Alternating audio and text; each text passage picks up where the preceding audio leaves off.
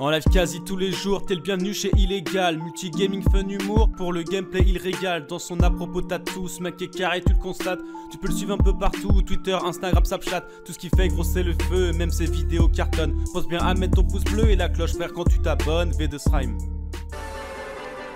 Bonjour à tous, j'espère que vous allez bien. Alors on se retrouve pour la puce numéro 72, chercher à Salty. Alors c'est très simple, ben, il va falloir se rendre à Salty pour euh, cette puce de décryptage de la saison 9.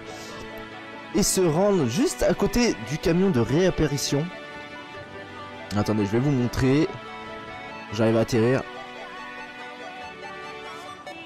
Alors il va falloir aller juste que... où il y a la petite voiture rouge. Voilà. Juste ici. En fait, il faudra casser la voiture, les amis. Et la puce, elle sera cachée juste derrière.